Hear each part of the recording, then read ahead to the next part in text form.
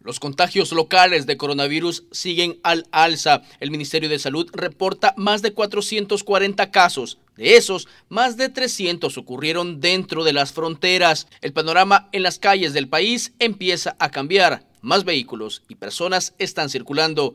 Mientras todo eso ocurre, el gobierno plantea más restricciones a la movilidad. Sí, son medidas restrictivas un poco más fuertes.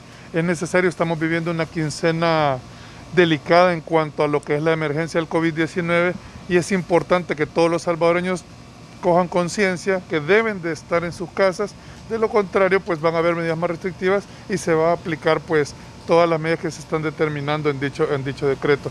Castro adelantó que la economía se abrirá de forma escalonada a partir del 17 de mayo. Varios sectores productivos serán avalados para funcionar cumpliendo protocolos de bioseguridad. Se va a hacer es abrir paulatinamente, pero sí se va a abrir el comercio, sí se va a abrir la industria, se van a abrir las empresas en un porcentaje, un 20 o un 30% de su productividad con muchos protocolos de seguridad y, de, sanitización de alguna manera, para que por dar un ejemplo en una tienda pues no podrán estar cierta cantidad, hasta cierta cantidad de gente y las demás deberán mantenerse afuera en una línea manteniendo el distanciamiento social.